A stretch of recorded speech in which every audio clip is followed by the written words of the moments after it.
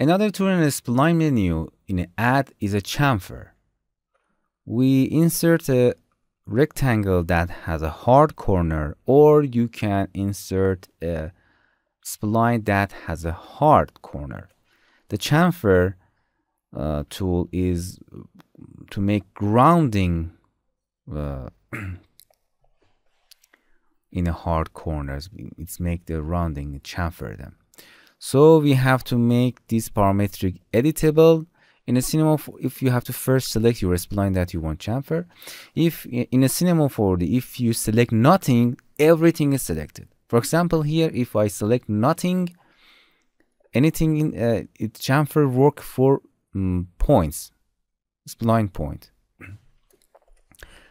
So the chamfer affect all those points. We can access the chamfer tool in a spline in add or simply in a right click when we are in a point mode the chamfer tool is here. First click and drag then do not anything. Don't click in a scene don't click anything. Just going its tool. If you click it's been done or do anything for you. Just going directly to its radius and change your radius. Okay if you click again as you can see because of all those points are selected it chamfer them again okay? So do not uh, touch anything or click anything directly go to your chamfer.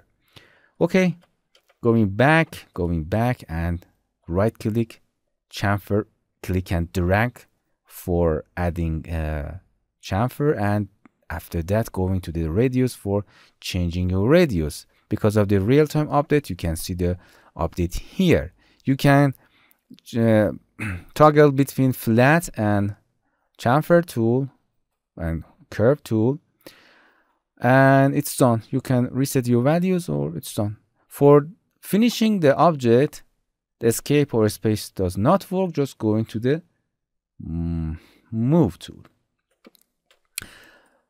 going to the this spline select if you want to select a special point. First select them right click and simply click and drag to chamfer. Then going to the radius and change that. Okay for example i need 50 and going to the move tool okay. If you insert a new object and make it editable and for example we want to select I want to chamfer that point select that point before. Right click go to chamfer. If you want to uh, execute the um, previous setting don't you don't want to click and drag and setting simply click new transform. In a new transform it acts it does for you that chamfer very easily. You don't need to click and drag and change it. Go to the move tool. For example you want to chamfer that right click chamfer. You have a previous setting new transform in add to new point. So the new transform tool is for that purpose. Okay this is a chamfer. It's very simple and straightforward.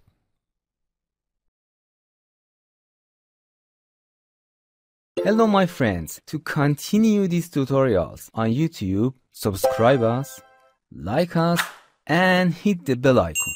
And now you will be alerted about all of the amazing videos that we release.